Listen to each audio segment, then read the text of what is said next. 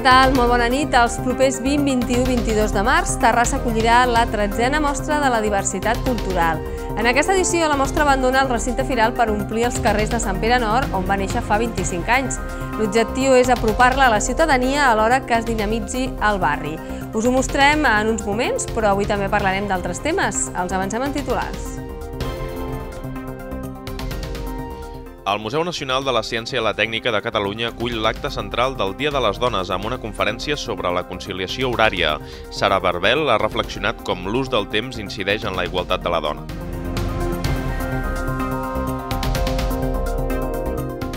Alumnes del cicle de cuina i gastronomia de l'Institut Cavall Bernat han creat un menú per als alumnes de l'escola Alpí.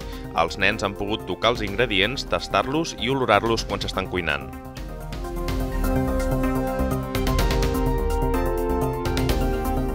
El Museu de la Ciència i la Tècnica de Catalunya va guanyar 23.505 visitants durant el 2014. Aquesta xifra representa un increment del 36% respecte a l'any anterior.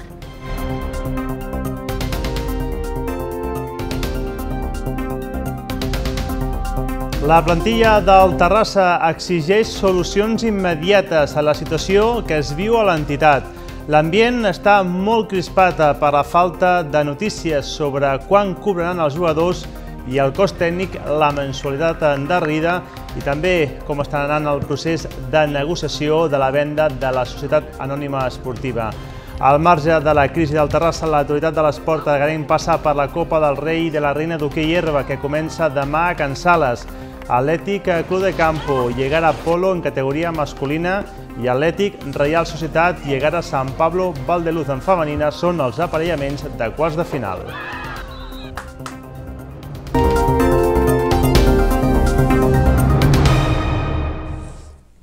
Durant tres dies, els terrassens podran gaudir de les cultures que hi conviuen a la nostra ciutat. Ho podran fer a la Rambla Francesc Macià i és que torna una nova edició de la Mostra de la Diversitat Cultural. Folklore, gastronomia, música, literatura i cinema ompliran el barri de Sant Pere Nord a partir del 20 de març. Els propers 20, 21 i 22 de març se celebrarà la tretzena mostra de la diversitat cultural, que en aquesta edició abandona el recinte firal per omplir els carrers de Sant Pere Nord, on va néixer fa 25 anys. L'objectiu és apropar-la a la ciutadania a l'hora que es dinamitza el barri. Quan eh, cadascú ens porta la seva cultura d'origen, la seva cultura del lloc, i la porta en un altre lloc, bé si es crea massissatge o no, el que es fa d'entrada ja és un enriquiment personal del coneixement i l'ampliació de, de, de la cultura pròpia. No?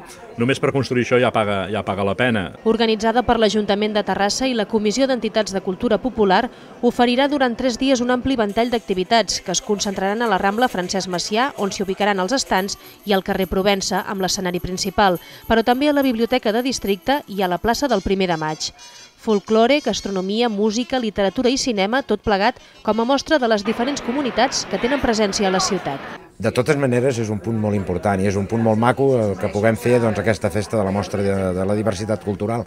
Però jo crec que hauríem de mirar de fer alguna cosa més. Terrassa es conocida hoy fuera de la ciudad, eh, sobre todo por todas las autonomías restantes, ¿verdad? Gracias a estos intercambios que están haciendo, ayudando lo de la muestra. Y también la gente de fuera viene a visitar nuestra ciudad gracias a esta muestra. El espíritu es el de intentar de presentar a, a, a la ciudad una, una, carta de cuál es nuestra diversidad cultural, que eso nos sirva al mismo tiempo para relacionarnos con otras entidades y generar una, una, una convivencia mejor. Y esto se mantiene desde el principio. Una de les novetats d'aquesta tretzena mostra de la diversitat cultural és la posada en marxa del primer cicle de cinema africà de Terrassa, al Centre Cívic President Macià. El fet de que sigui cinema africà no només de l'Àfrica continental, subsahariana, austral, diguéssim, sinó també tot el que és Àfrica del Nord, inclou doncs, aquesta gran panoràmica doncs, de poder tractar diferents temes. La mostra, que se celebra cada dos anys, vol ser una activitat cultural per mostrar els orígens plurals de la ciutadania. El regidor d'Urbanisme de Terrassa, Alfredo Vega, ha parlat avui sobre els canvis que la Generalitat ha anunciat que farà a la llei de l'habitatge. Vega ha titllat les mesures d'insuficients i poc concretes, alhora que ha dit que moltes d'elles ja estaven presents a la llei del 2008, però que no s'havien aplicat, no hi havia hagut voluntat executiva per part del govern català. L'Ajuntament de Terrassa celebra que la Generalitat hagi canviat el seu grau de sensibilitat davant els problemes relacionats amb l'habitatge, però considera les noves mesures anunciades dimarts insuficients per resoldre el problema. El regidor d'Urbanisme, Alfredo Vega, reconeix que el canvi en el decret de l'habitatge no és un pas enrere, però la majoria de mesures apunten línies d'actuació molt tímides i inconcretes, i algunes ja estaven a la llei de l'habitatge del 2008 però no s'havien aplicat. Segons Vega, les noves accions acabaran beneficiant les entitats bancàries. Algunes eh, sembla que estiguin pensades més en clau d'afavorir els propietaris, estem parlant dels bancs que tenen grans eh, parts d'habitatges, que no d'afavorir en definitiva a, l'inquilí, aquella persona que té moltes dificultats que no pot pagar. Tot i això, és veritat que eh, d'alguna manera aquestes mesures s'alineen en les polítiques d'habitatge que ja estaven fent ajuntaments com el nostre i benvinguda en que la Generalitat comenci a pensar també d'aquesta manera. Pel que fa al dret de tanteig i retracte, és a dir, la prioritat per comprar pisos buits per part de l'administració, el regidor socialista hauria anat més lluny. Era una llei existent, per exemple, que es podria, anar a les, es podria haver anat a l'expropiació, que hauria sigut un element molt més efectiu. Respecte a la creació d'un registre de pisos buits des de l'Ajuntament es veu positiu, però que si no es concreten sancions o mesures coercitives no servirà gaire. Penalitzat aquella persona que no ho faci per exemple, i a més a més un reglament de que tu puguis, aquella persona que tingui un pis buit, que tingui un supliment impositiu, per exemple, a través de l'IBI, que és una mesura proposta però mai s'ha desenvolupat el reglament. Finalment, pel que fa a l'obligació de rehabilitar els pisos buits per part de la Generalitat o els ajuntaments, Vega considera que hauria de ser el propietari el que pagui la reforma i després recuperi la inversió amb el lloguer social. Comissions Obreres ha criticat que Panrico acomiadi els treballadors de la logística de la planta de Santa Perpètua de Moguda. El sindicat afirma que al mateix temps pretén contractar una empresa externa per realitzar el seu treball. Considera inadmissible que sigui una decisió unilateral, tenint en compte que la direcció s'havia compromès amb els representants legals dels treballadors a obrir un procés de negociació. Després del sacrifici dels treballadors, arran de les retallades sofertes amb l'ERO i malgrat la tendència a la recuperació econòmica de l'empresa, Comissions considera inadmissible l'acomiadament i fa una crida a la direcció de Panrico perquè readmeti els treballadors acomiadats i utilitzi la via de la negociació per buscar una sortida consensuada.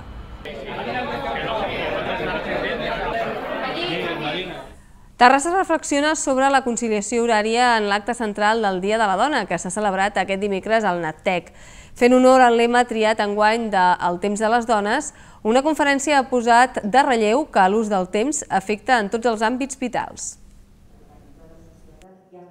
Una conferència en format televisiu a càrrec de l'experta en polítiques de gènere Sara Barbel ha permès reflexionar sobre com l'ús del temps incideix en la igualtat de la dona. Dades com que el prime time televisiu espanyol és 3 hores més tard que el Regne Unit o que Espanya es treballa en 300 hores més que la mitjana europea, però és el país amb la productivitat més baixa de la Unió, han servit per concloure que l'ús del temps afecta en tots els àmbits vitals. Una de les causes de les diferències horàries entre europeus és l'adaptació que els diferents països han fet dels seus horaris. Nosaltres hem passat d'una societat industrial a una societat del coneixement, que és en la que estem ara i no hem fet tots aquests canvis que vostè comentava molt bé que les empreses estrangeres, sobretot en els països nòrdics que tenien un estat del, eh, que han treballat més per l'estat del benestar, doncs sí que han dut a terme. Tenim una diferència que ens fa un horari molt més complicat respecte a tota la resta d'Europa. La doctora, ajudada per diferents dades i gràfics sobre la situació de la dona al país i el temps, ha tractat de com els horaris incideixen en l'àmbit laboral, la salut, la participació social i la corresponsabilitat a la llar. La regidora de Polítiques de Gènere ha tancat l'acte del Museu de la Ciència animant a continuar treballant per la igualtat. Les administracions podem fer un gran paper. Les creiem fermament en la igualtat. Les que no pensem que ara tenim problemes socials tan greus que millor deixem per a més endavant aquesta lluita per la igualtat. Amb crisi o sense crisi, això és urgent i és important. I no és qüestió de diners, sinó de política. A l'acte també s'ha entregat el primer premi del concurs de cartells del Dia de la Dona Treballadora, que en aquesta edició ha estat per Belén Bach. Aquesta conferència ha estat l'acte central de la campanya Els temps de les dones, que en aquesta edició ha presidit els actes commemoratius del 8 de març. Amb l'objectiu de donar a conèixer les experiències i els treballs desenvolupats Mutua Terrassa durant el 2014 en matèria sociosanitària, avui Mutua ha celebrat la setena jornada sociosanitària. Durant tot el matí s'han organitzat exposicions de diversos professionals d'aquest àmbit provinents de diferents centres gestionats per la Fundació Vallparadís i la Fundació l'Espluga de Mútua. Igual que en la passada edició, la jornada d'enguany ha arrencat amb una conferència titulada Atenció centrada en la persona, una utopia, a càrrec del doctor Antoni Salvà, director de la Fundació Salut i Envelliment de la Universitat Autònoma de Barcelona. A continuació s'han esdevingut les presentacions dels 13 treballs i experiències, totes elles vinculades a l'àmbit sociosanitari i centrades en aspectes tan diferenciats com la musicoteràpia en pacients amb ictus o l'autoestima i la qualitat de vida en persones amb esquizofrènia. Tocar els ingredients, tastar-los i olorar-los quan s'estan cuinant. Això és el que han pogut fer avui els alumnes de l'Escola d'Educació Especial, el PIP. Els estudiants de cuina de l'Institut Cavall Bernat els han vingut a fer una demostració en viu d'un taller de cuina diferent. Una crema de carbassó, natilles de xocolata i merenga. És el menú que han preparat els alumnes del cicle formatiu de grau mitjà de cuina i gastronomia de l'Institut Cavall Bernat per als alumnes de l'Escola Municipal d'Educació Especial Alpí. L'activitat porta per títol Alimentem els nostres sentits perquè es tracta d'un taller de cuina molt sensorial. El fet de que els nostres alumnes, molts d'ells, tinguin grans eh, dificultats, per exemple, a nivell visual, a nivell auditiu, fa que totes les activitats hagin d'estar mm, presentades d'una manera molt vivencial. D'aquí el nom d'Alimentem els nostres sentits. Una miqueta el que volem és que sigui com un joc també per ells, no? a part de que, bueno, com ha dit la nostra professora, trencar el dia a dia la rutina tant seva com nostra. Des de fa dos cursos, l'Escola Alpí dedica tot el mes de març a treballar un tema. Aquest any és la cuina i els aliments. Cada dimarts i dijous, cadascuna de les cinc aules de l'escola prepara una activitat relacionada amb aquesta unitat didàctica. Vam començar doncs, presentant la cuina.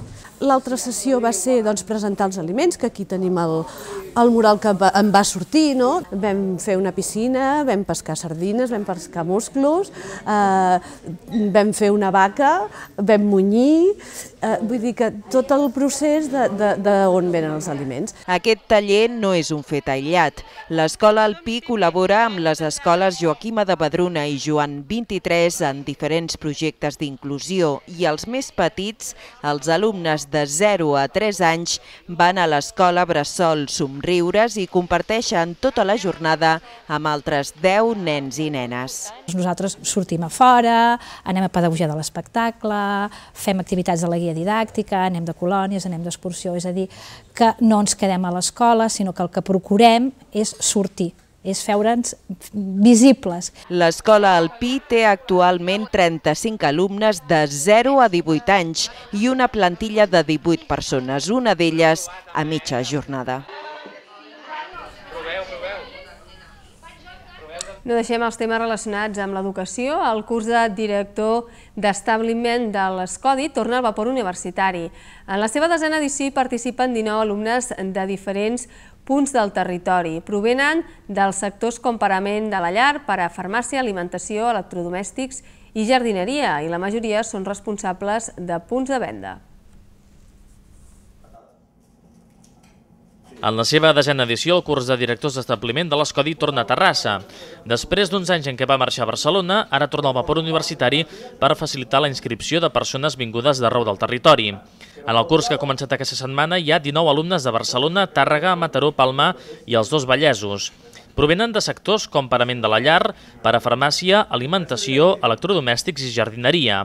En general són responsables de punts de venda, fills de propietaris o venedors que estan a punt de ser promocionats i que volen tenir les eines necessàries per dirigir el negoci perquè la principal queixa dels comerciants també és que de vegades ascendeixen o donen la responsabilitat de l'establiment en el millor venedor i després no sap dirigir. Però és, clar, és que per dirigir t'has de formar. Hi ha moltes empreses que t'expliquen que per arribar a ser doncs, eh, responsables d'establiment o responsables de, de zona i per tant de grups d'establiment triguen de 10 a 15 anys, eh, i la gràcia és, és que amb la formació doncs això pot ser molt més ràpid. Nosaltres tenim graduats de la carrera universitària de Direcció de Comerç i Distribució que en 3 anys ja tenen equips sota seu doncs, de, de 20 i pico persones o que ja, ja són responsables doncs, d'una doncs, sèrie d'establiments. Vull dir que la formació aquí és molt important per materialitzar aquesta possibilitat de promocionar dintre de l'empresa de comerç. El curs de directors d'establiment consta de 80 hores distribuïdes en 16 sessions i 8 setmanes. La meitat de les empreses participants tenen més de 6 establiments i la resta fins a 5.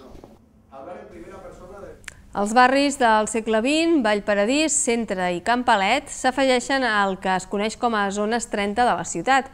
Amb la zona 30 s'estableix el límit de velocitat dels vehicles a 30 km per hora a tots els carrers interiors del barri. L'actuació ha començat aquesta mateixa setmana amb els primers treballs al barri del segle XX. Segle XX serà el proper barri de la ciutat en convertir-se en zona 30. Aquesta setmana han començat els treballs per senyalitzar els carrers amb la limitació de velocitat. Es col·locaran indicadors verticals i horitzontals, principalment als accessos al barri, delimitat per les carreteres de Montcada i de Rubí la Rambleta i l'Avinguda de Santa Eulàlia. També es pintaran icones de bicicleta a la calçada per recordar la convivència amb els vehicles no motoritzats. L'actuació durarà dues setmanes i té un pressupost de 42.000 euros. A les properes setmanes també es convertiran en zones 30 els barris de Vallparadís, Centre i Can Palet. En aquests dos darrers es construiran també passos elevats. Amb aquestes actuacions, més d'un terç de les zones residencials de Terrassa tenen limitada la velocitat a 30 km per hora. El primer barri on es va implantar aquesta mesura va ser a Can Roca, ara fa 11 anys. Avui també són zones 30, Sant Llorenç, Xúquer, Campalet 2, Guadalhorce, La Cogullada, Cementiri Vell, Can Jofresa, Roc Blanc, Camp Parellada i Campalet de Vista Alegre. A banda de millorar la seguretat i reduir la sinistralitat, amb aquesta mesura es disminueix la contaminació acústica i atmosfèrica. Avui als esports, Joan Gutiérrez ens parla de futbol, hoquei herba, waterpolo femení i la nit de l'esportista, que se celebrarà demà al Teatre Principal. Fins ara.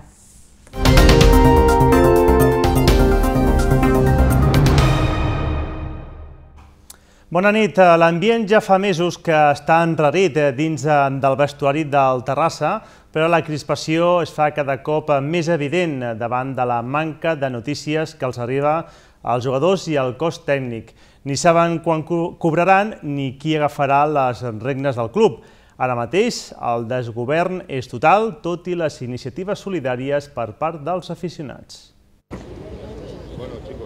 La plantilla del Terrassa Futbol Club no és aliena a la situació extraesportiva que envolta l'entitat. Prova d'això és l'entrenament d'aquest dimecres a l'Olímpic, on en l'ambient es podia palpar la preocupació existent pel futur del club i per la poca comunicació que estan rebent els integrants de l'equip. Aquí a nosotros nadie no, no, no, no se ha informado absolutamente de nada, ni de que ni cuándo vamos a cobrar, ni cuándo no vamos a cobrar, eh, y de eso nuestra incertidumbre, ¿no?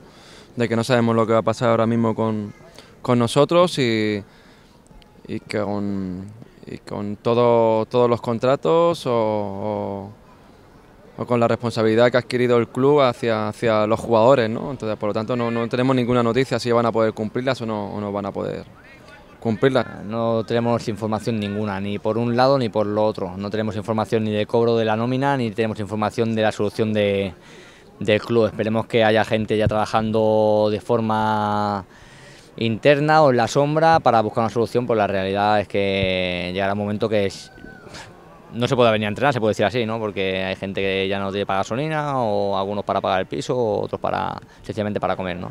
A tot això, aquest dijous hi ha prevista una reunió entre la Junta Directiva, els capitans del primer equip i les penyes. L'objectiu no és un altre que buscar una solució a la problemàtica sorgida en les últimes hores. Les penyes consideren una intrusió la jornada econòmica que ha decretat el club per diumenge, quan els aficionats ja havien organitzat una col·lecta.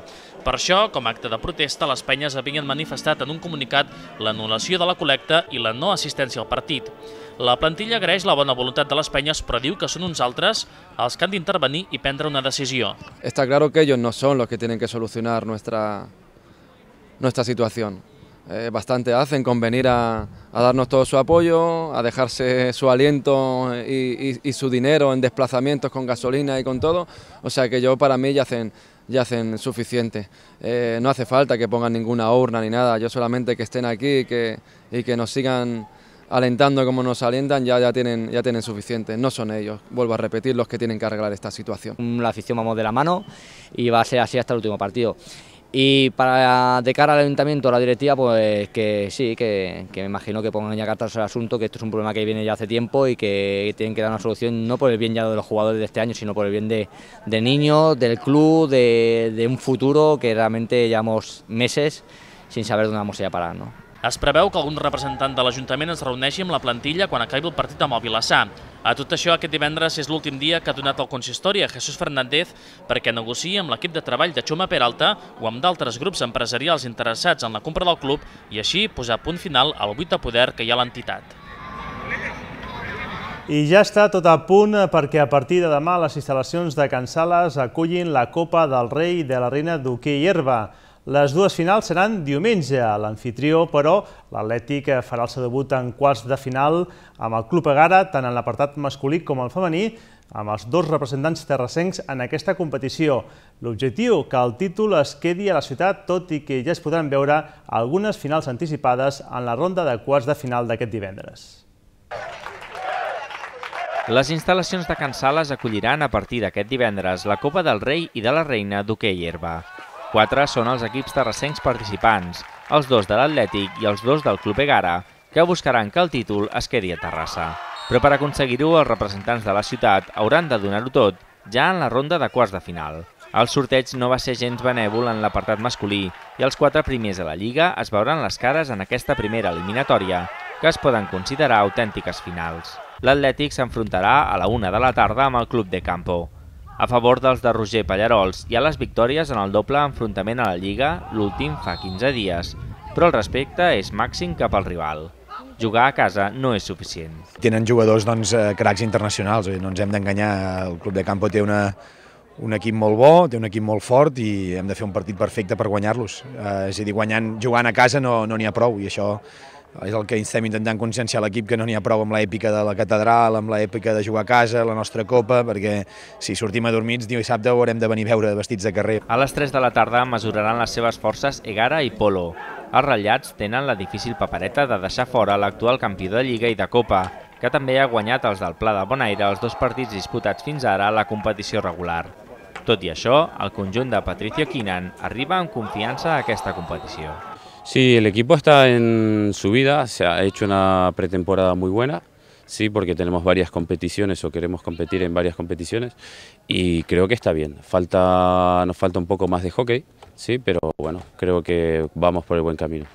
En categoria femenina, l'Atlètic es veurà les cares amb la Reial Societat a les 3 de la tarda.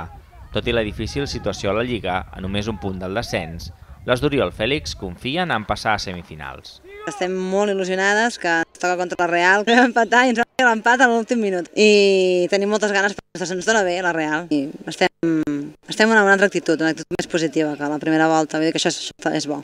L'últim en debutar en quarts de final serà l'equip femení de Legara. Serà a les 5 contra el San Pablo Valdeluz, en una eliminatoria que es preveu molt igualada y on serà clau el penal corner. Creo que Valdeluz es un equipo que, que tiene jugadores buenas, tiene un arma en el penalti muy importante, creo que 12 o 15 goles ha metido Lola de penalti, eh, entonces sabemos que lo, puntos fuertes que tienen. Eh, nosotros sabemos que tenemos que hacer un partido serio, eh, tanto en ataque como en defensa. A més dels partits, l'Atlètic ha organitzat tot un seguit d'activitats que acompanyaran l'esdeveniment al llarg dels tres dies, com clínics, conferències, tornejos de veterans o concerts, entre altres. El Teatre Principal acollirà demà per segon any consecutiu la nit de l'esportista Trofeu Lluís Francino i Riera, el certamen que premia l'esport terrassenc. Serà en el transcurs d'una gala que distingirà els millors del 2014. En total són 62 els nominats a les 12 categories. Albert Puig torna a figurar en la nominació a millor esportista de l'any, tot i que el nedador del club Natació Terrassa haurà de competir amb els futbolistes Xavi Hernández i Marta Corredera, la gimnasta Laura Gamell, el jugador d'hoquei Xavi Lleonard, l'atleta Just Sociats, el boxejador Martín Molina, l'arquer Sergi Febrián, la nedadora Sarai Gascon i el waterpolista Sergi Mora. Com ja és habitual en aquest certamen, també es premiarà el millor equip, també a la promesa de l'any, l'entitat esportiva, dirigent, entrenador, dedicació al món de l'esport, organització d'esdeveniments esportius, fita de l'esport escolar, esport adaptat per a discapacitat psíquica i física i suport i col·laboració econòmica.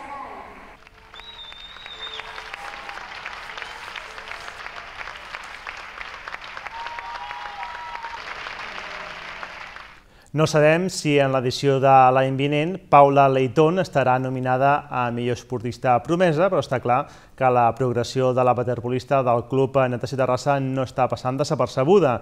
I és que el seleccionador de l'equip espanyol absolut, Miki Oka, l'acaba de convocar per un estatge que tindrà lloc la setmana vinent a Madrid.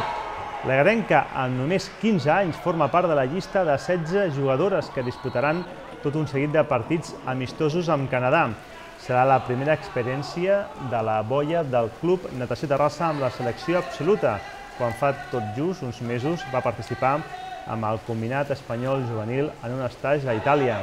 Leiton, doncs, serà la segona jugadora del natació en participar en l'absoluta després que ho fes Raquel Roldán el 2012 en un partit de la Lliga Mundial.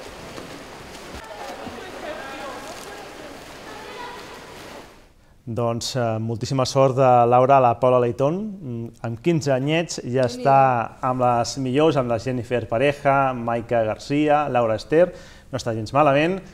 Eh, dilluns tindrem un cap de setmana molt atapeït per explicar coses, sobretot pel tema de la final de la Copa del Rei i de la Reina i també per la nit de l'esportista. Demà no ens veurem, Laura.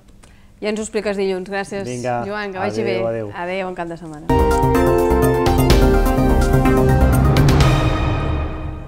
El Museu de la Ciència i la Tècnica de Catalunya va guanyar més de 23.000 visitants durant el 2014. El NATTEC va tenir un total de 88.400 visitants. Aquesta xifra representa un increment del 36% respecte a l'any anterior, el 2013, un augment degut principalment a les activitats familiars i de cap de setmana. El Museu de la Ciència i la Tècnica de Catalunya va tenir el 2014 un total de 88.400 visitants. Aquesta xifra representa un increment del 36% respecte a l'any anterior, quan el museu va registrar 64.900 visites. Els responsables argumenten que aquest increment es deu principalment a una major afluència d'usuaris de les activitats familiars i de cap de setmana. També destaquen com a motiu el gran nombre d'exposicions noves inaugurades al llarg de l'any passat i l'increment del públic escolar. El conjunt de seus del NACTEC va rebre el 2014 pràcticament 100.000 visites. Aquesta dada significa un augment de 23.900 usuaris. Els principals increments es van donar a Terrassa i Castellà de Nuc, mentre que a la Farga, Palau de Ripoll i al Museu de la Colònia Sador d'Esparreguera les xifres han experimentat una lleugera davallada. El Museu de la Ciència i la Tècnica de Catalunya és un dels tres museus nacionals reconeguts pel Parlament de Catalunya. La seu està ubicada a Terrassa, a l'edifici de l'antic vapor Aimeric Amat i Jové. Doncs marxem, ja sabeu que teniu més informació al terrassadigital.cat, també a través de Facebook, Twitter i YouTube. Que passeu una bona nit i ens tornem a veure demà. Que vagi bé.